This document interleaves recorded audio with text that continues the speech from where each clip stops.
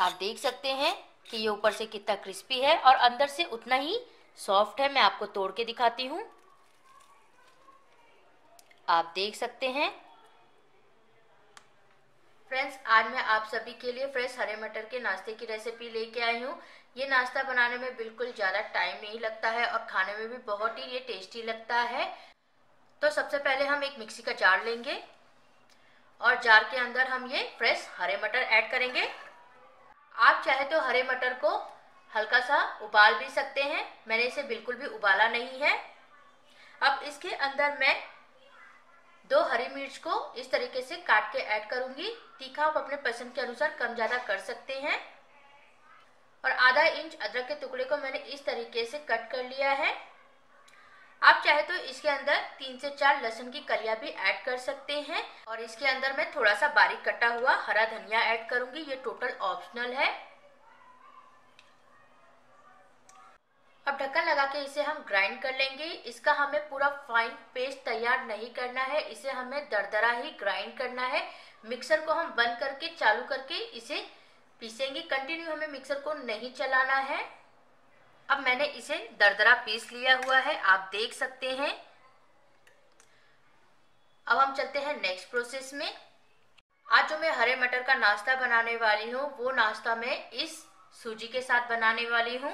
तो मैंने एक कप के करीब ये बारीक वाली सूजी ली है। आप मोटी वाली सूजी भी यूज़ कर सकते हैं। अब मैंने एक कप के करीब सूजी ली है तो इसके अंदर मैं तीन कप के करीब वाटर ऐड करूँगी। ये एक कप दो कप और ये तीन कप अब सूजी को हम एक बार अच्छे से मिक्स कर लेते हैं। ये नाश्ते का घोल हमें एकदम पतला ही तैयार करना है। अब सूजी अच्छे से मिक्स हो चुका है। अब इसके अंदर हम बाकी के और इंग्रेडिएंट ऐड कर लेते हैं। मैंने हाफ़ ऑनियन को इस तरीके से बारीक कट करके ले लिया है, इसे हम ऐड कर देंगे। और इसके अंदर मैं हाफ़ टेबल स्पून से भी कम हल्दी पाउडर ऐड कर रही हूँ। हाफ़ टेबल स्पून के करीब जीरा हाफ़ टेबल स्पून के करीब धनिया पाउडर हाफ़ टेबल स्पून के करीब रेड चिली पाउडर और हाफ़ टेबल स्पून के करीब चाट मसाला अगर आपके पास चाट मसाला नहीं है तो चाट मसाला के बदले आप इसके अंदर अमचूर का पाउडर ऐड कर सकते हैं। और इसके अंदर अपने टेस्ट के अकॉर्डिंग हम नमक ऐड करेंगे।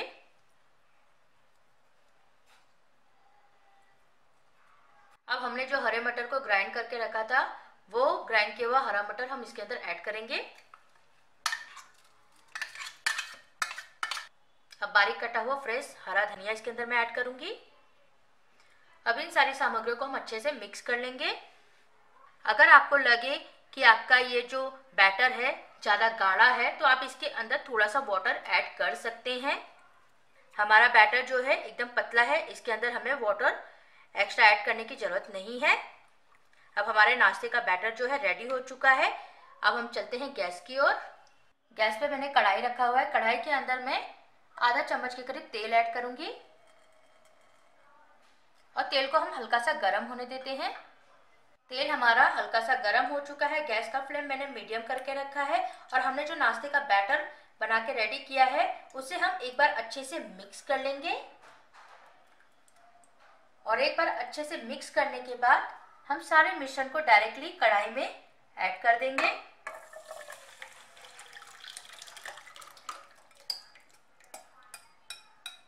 अब सारे बैटर को मैंने कढ़ाई के अंदर ऐड कर दिया हुआ है। अब इसे हमें इसी तरीके से कंटिन्यू चलाते हुए मीडियम फ्लेम पे पकाना है। जब तक कि ये पूरी तरीके से गाढ़ा ना हो जाए और पैन से अलग ना होने लगे, तब तक हम इसे पकाएँगे। और गैस का फ्लेम आप बिल्कुल भी हाई ना रखें। आप चाहे तो इसके अंदर और भी वेजिटेबल ऐड कर सकते हैं। जैसे कि कैप्सिकम बीन्स इन सब वेजिटेबल को भी आप बारीक कट करके इसके अंदर ऐड करेंगे तो बहुत ही अच्छा टेस्ट आएगा। और इसे गाढ़ा होने में सिर्फ़ तीन से चार मिनट लगेंगे। और फ्रेंड बहुत सारी हेल्दी रेसिपी मेरे चैनल पे है, उसके लिए आप मेरे चैनल पे विज़िट कीजिए। और इस तरीके से, इसे पकाने से क्या होगा, हमने जो हरे मटर को ग्राइंड करके इसके अंदर ऐड किया हुआ है, वो हरे मटर का कच्चापन भी निकल जाएगा और हमारी सूजी भी जो है, अच्छे से पक जाएगी। अब आप देख सकते हैं कि ये पूरी तरीके से गाढ़ा हो चुका है और पैन से अलग भी हो रहा है। जब इस स्टेज पे ये आ जाए तो आप समझिए कि ये पूरी तरीके से रेडी है। आप देख सकते हैं। अब गैस का फ्लेम हम ऑफ़ कर देंगे और इसे हम एक प्लेट में निकाल लेंगे। अब ये हल्का सा ठंडा हो चुका है, इसे मैंने पूरी तरीके से ठंडा नहीं किया हुआ है, इसे हमें हल्का सा गर्म ही रखना है। अब इसके अंदर मैं तीन से चार चम्मच के करीब चावल का आटा ऐड करूँगी। चावल का आटा ऐड करने से क्या होगा, हमारा ये जो नाश्ता है बहुत ही क्रिस्पी बनेगा। और इसे हम अच्छे से मिक्स कर लेंगे। अब चावल का आटा भी इसके अंदर अच्छे से मिक्स हो चुका है। अब हम चलते हैं नेक्स्ट प्रोसेस में। मैंने थाली ले थाली के अंदर मैंने थोड़ा सा ऑयल ले लिया है। ऑयल को हम इस तरीके से स्प्रेड कर लेंगे थाली में।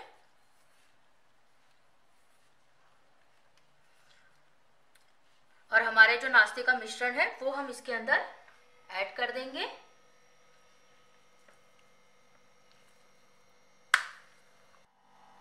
अब सारे नाश्ते के मिश्रण को मैंने थाली के अंदर ऐड कर दिया है। अब इसे हम स्प्रेड कर लेंगे। अब सारे मिश्रण को मैंने थाली के अंदर अच्छे से स्प्रेड कर दिया हुआ है। आप अपने पसंद के अनुसार इसका लेयर थोड़ा सा मोटा और पतला कर सकते हैं। अब इसे हम सेट होने के लिए साइड में रख देंगे 10 से 15 मिनट के लिए। आप चाहे तो इसे फ्रिज में भी रख के सेट कर सकते हैं। 15 मिनट तक मैंने इसे सेट होने के लिए रखा हुआ था। ये अच्छे से सेट हो चुका है। अब इसे हम नाइफ से कट करेंगे। आप अपने पसंद के अनुसार इसे किसी भी शेप में कट कर सकते हैं।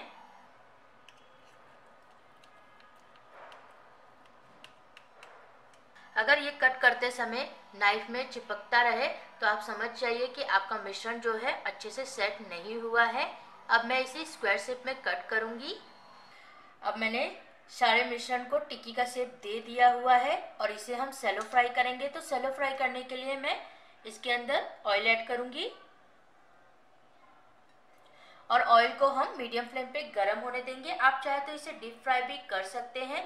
और हमने जो टिक्की का शेप दिया हुआ है मिश्रण को, उस टिक्की को आप एक डब्बे में बंद करके फ्रिज में भी रख सकते हैं। आपको जब मन करे, तब आप उस टिक्की को इस तरीके से फ्राई करके खा सकते हैं। अब हमारा तेल गरम हो चुका है। अब इसके अंदर हम एक एक करके टिक्की ऐड करेंगे।